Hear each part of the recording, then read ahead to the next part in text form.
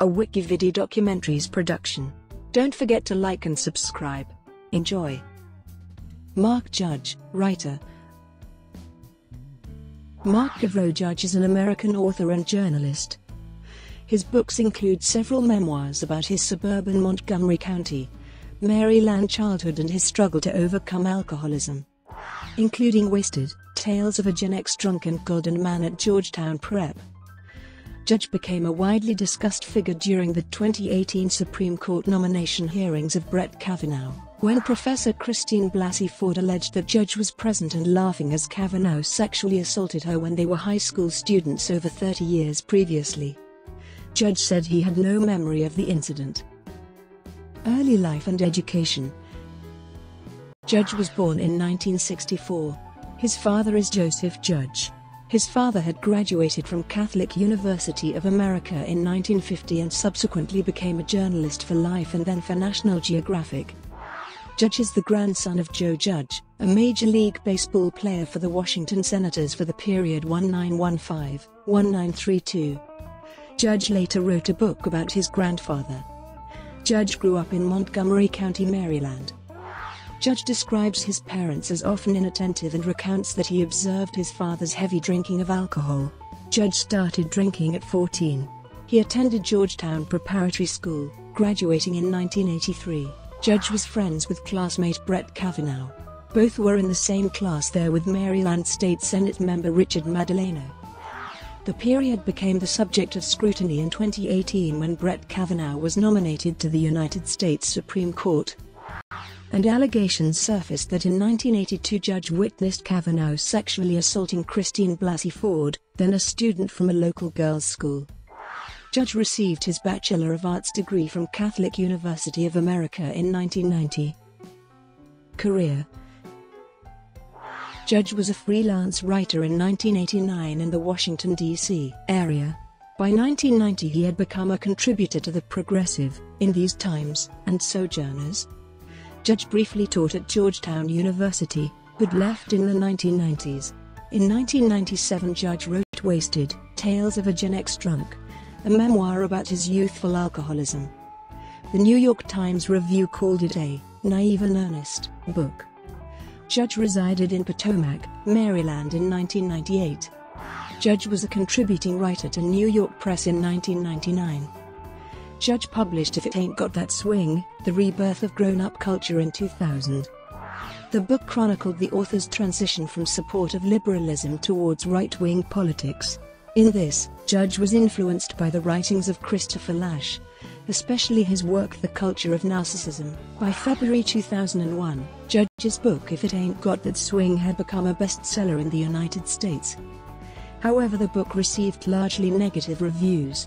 Judge's book Damn Senators, on his Major League Baseball player grandfather Joe Judge, was published in 2003 to favorable reviews, especially in the conservative press. The Weekly Standard wrote of the author's description of 1924. Mark Gauvreau Judge, has beautifully captured the excitement and intensity of that season. On Weekend Edition, journalist Michael Kranish highlighted Judge's book Damn Senators among his favorite summer reading picks in 2004. The Wall Street Journal wrote that Judge so nicely captured the glory of Washington baseball in Damn Senators.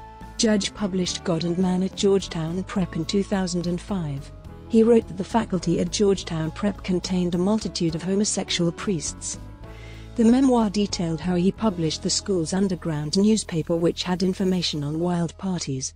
Judge's book had an impact on the educational institution itself, with biographer Jerry Oppenheimer writing in his 2015 book RFK Jr., Robert F. Kennedy Jr. and the Dark Side of the Dream. It caused quite a storm, especially among the alumni and administration going back decades. Because Judge, a conservative Catholic, had alleged that alcoholism was rampant among the left-wing Jesuits and claimed that the school had been a hotbed of rampant homosexuality. Half of the faculty, he asserted, was gay. Publishers Weekly called the book a humorous, edgy look at his experiences in three prestigious U.S. Catholic schools. National Catholic Register found Judge's writing to be too vague, commenting, There are too many theories and too little space. The Wichita Eagle recommended a piece by Judge for Christianity Today in 2006. Commenting it evidenced the ability of religious believers to appreciate the good that musical culture can bring to society. Judge's book, A Tremor of Bliss, Sex, Catholicism, and Rock and Roll, was published in 2010. First Things wrote, An insightful history of the rise of contraception in the last century provides the most valuable material in A Tremor of Bliss. The publication recommended Judge's work, concluding, A Tremor of Bliss is a book well worth reading from an author unafraid of showing some attitude. Jeremy Lott of the Washington Times reviewed the book, concluding, Judge proposes a Catholic sexual counter-revolution, though he doesn't want to call it that. What he clearly does want is U.S. Catholic education to play a vital role in countering the current almost anything goes culture. In addition to writing books, Judge has contributed to the Wall Street Journal, the New York Times, the Washington Post, the Weekly Standard, and First Things. Regarding LGBT people, Judge wrote in the Daily Caller, We simply are not allowed to talk about certain things at the risk of our jobs and reputations. One is human anatomy, another is the problem of promiscuity in the gay community. Judge wrote a piece titled, Hard Case Crime, The Beauty of Male Passion, on Splice Today lamenting that, today's social justice warriors don't like a sexy damsel in distress. Judge elaborated that, of course, no means no and yes means yes. But there's also that ambiguous middle ground, where the woman seems interested and indicates, whether verbally or not, that the man needs to prove himself to her. And if that man is any kind of man, he'll allow himself to feel the awesome power, the wonderful beauty, of uncontrollable male passion. Brett Kavanaugh Supreme Court nomination In 2018, Judge was implicated in an alleged sexual assault that surfaced after his high school classmate Brett Kavanaugh was nominated to the Supreme Court of the United States.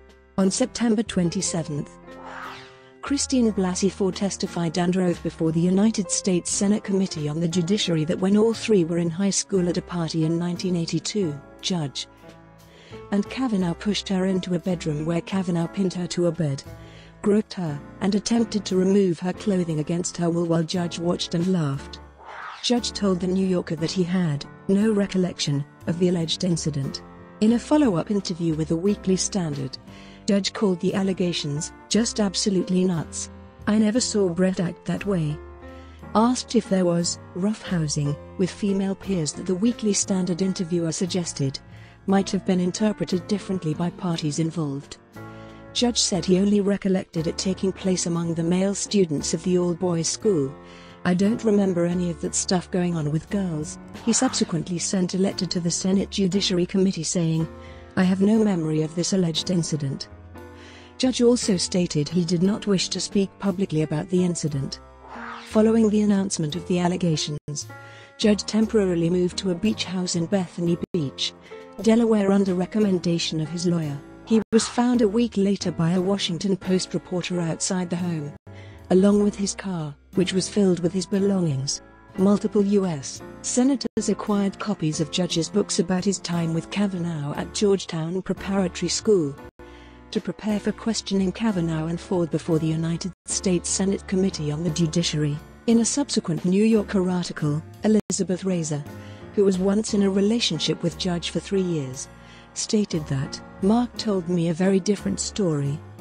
She said he told her of taking turns having sex with drunk women at Georgetown Prep. Another woman also disputed Judge's account of the social scene at the time sending a letter to Ford's lawyers saying that she had witnessed boys at parties that included Georgetown prep students engaging in sexual misconduct. On September 28, 2018, Senator Richard Blumenthal made a motion before the United States Senate Committee on the Judiciary to subpoena Judge to testify about Kavanaugh. Blumenthal said before calling his motion, he has never been questioned by any member of our committee. He has never submitted a detailed account of what he knows and so I move that we subpoena Mark Judge. Blumenthal noted. The third person in the room was Mark Judge, who was never questioned by the FBI or interviewed by the committee. Republicans defeated the motion for a subpoena on a party line vote.